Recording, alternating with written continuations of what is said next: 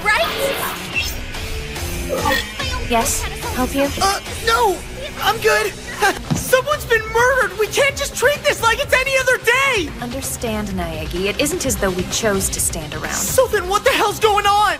Unless we want more casualties, we have to play by his rules.